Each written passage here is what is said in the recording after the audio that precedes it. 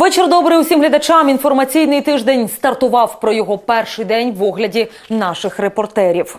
Традиційно розпочинаємо із подій у Криму.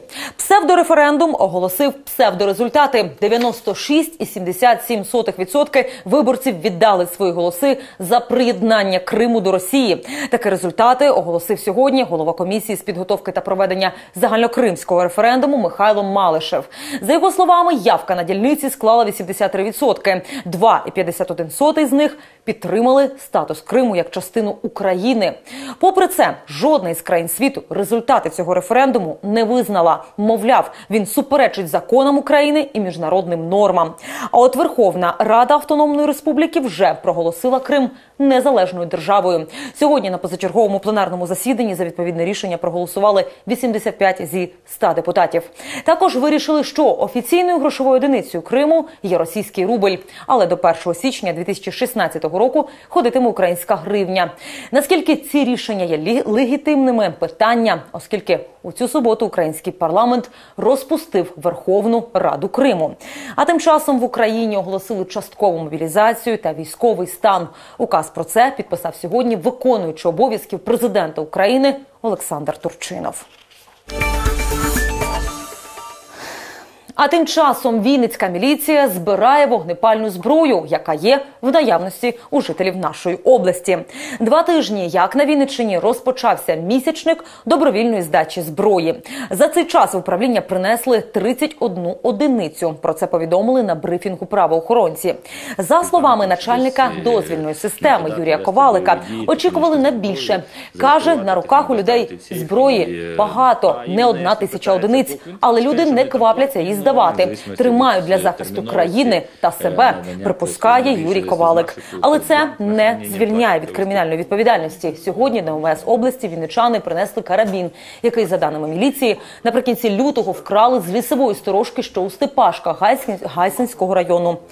Але то лише частка з арсеналу. Решту шукають. Тож правоохоронці вкотре наполегливо рекомендують вінничанам не приховувати незаконну зброю, а нести її до міліції. Добровільна здача звільняє від покарання, а незаконне зберігання 3 числа ми проводимо ці заходи по добровільній здачі.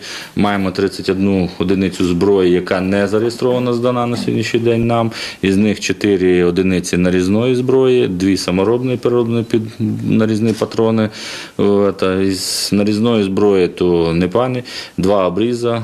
Карабінів вони, хоч і часи Великої вітчизняної, але в повному бойовому такому спорядженні заряджає набої та і можна стріляти. Одна мілкокаліберна гвинтівка і одна комбінована е, теж гвинтівка. Тобто один це мисливська зброя, але один із них нарізний ствол, другий е, 9 мм, другий е, ствол іде гладкоствольний. Сьогодні вночі блокували військову частину на Некрасова. То прийшли батьки солдатів, які несуть службу у частині. До рідних дійшли чутки, що вінницькі військовослужбовці мають виїхати до Києва, охороняти громадський порядок. Після переговорів із керівництвом військомату частину таки розблокували.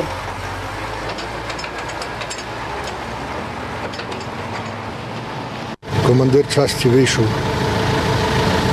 Переговорили, все, ворота розблокували. Ну і зайшли в клуб там. Предлагали писати всім е, на рапорта, на, на- що писати, як вони всі вину- ну, ми не обов'язані, молоді хлопці. Все одно заберуть, хоч через е, воєнкомат, хоч так. Двох чоловіків побили біля одного із ресторанів на вулиці 600-річчя. Сталося це 15 березня близько третьої ночі. Міліцейський патруль, який проїжджав повз, звернув увагу на скупчення людей. Під'їхавши ближче, побачили бійку. Молодики кинулися навтьоки. На місці залишились двоє. Одного, який був весь у крові, забрала швидка допомога. Інший від госпіталізації відмовився. За словами свідків, нападники і постраждалі до цього відпочивали в одному ресторані. Між компаніями виник конфлікт, і потім почалась бійка. Як вияснилось, що двох людей били десь около 10 е, молодих хлопців, яких двох затримали. Е, є свідки офіціанти цієї пригоди. Тобто в дальнішому вони прийшли до аеровідділку. У лікарні потерпілому надали медичну допомогу і відпустили. Жоден із постраждалих заяву до міліції не написав. Повідомляють у прес-службі МВС області. Проте про інцидент цей правоохоронці знають. Зараз за цим фактом проводиться перевірка. Додатково будемо спілкуватися ще із потерпілим, так само з усіма учасниками цієї події. Будуть опитані і працівники кафе, які е, працювали в ту зміну.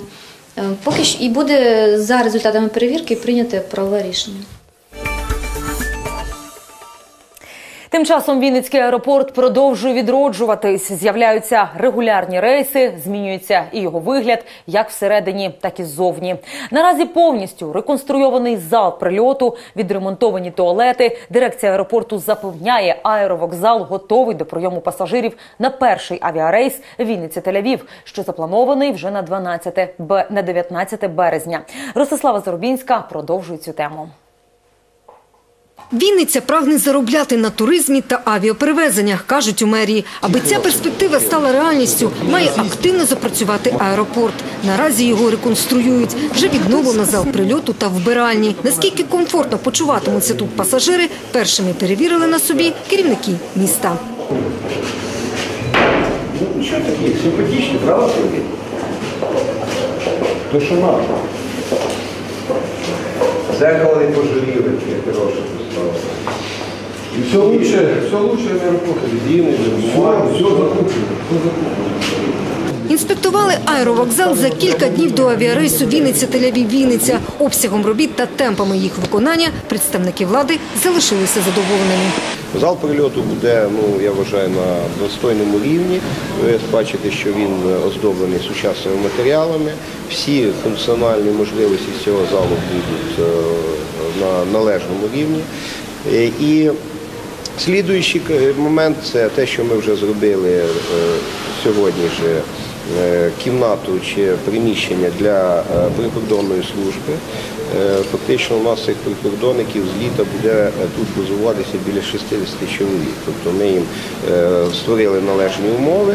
Е, Слідуючий етап це створити належні умови для таможеної служби. Стратегічно важливим для аеропорту організувати авіасполучення не лише з Ізраїлем, а й з Туреччиною та Польщею. Планують відновити і чартерні рейси до Чорногорії у літній сезон. Аеропорт буде востребований, що пасажири повірять е, в можливість е, турфірми спрацюють і з нашого аеропорта почнемо ми літати регулярно з 19 числа на Тель-Авів. Я сподіваюся, що з червня місяця почнемо літати на Анталію, дасть Бог. І наступний напрямок це Польща.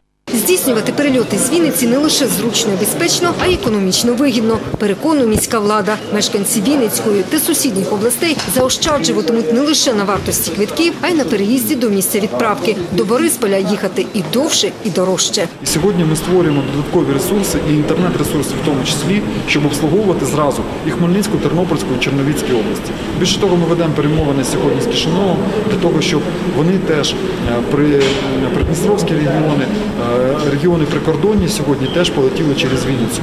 На перший авіарейс до Ізраїлю поки що продали половину квитків. Щоправда, на наступні перельоти, що відбудуться 22 та 23 березня, їх повністю розкупили. У мерії кажуть, ажіотаж на квитки припаде на травневі свята, тож радять забронювати їх заздалегідь. Ростислава Зарубінська, Вадим Інжиєвський, телеканал Віта. У минулому році до Вінницької казни надійшло трохи менше ніж півтора мільярди гривень. З них 99% витратили. У мерії кажуть, 2013 був складним.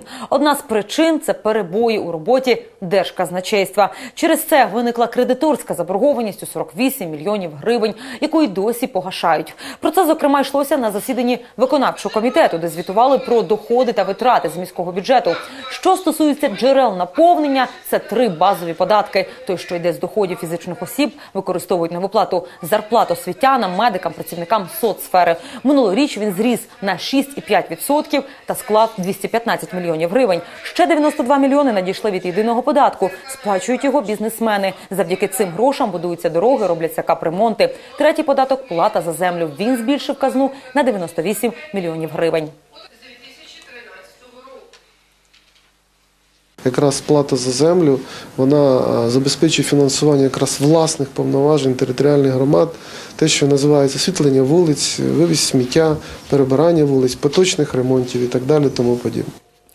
Сьогодні підкреслюють вінницькі економісти. Фінансова система працює у нормальному режимі. Вже почали виплату авансів бюджетникам за березень місяць. Студентська весна настала. У Вінниці стартував щорічний фестиваль талантів серед студентства.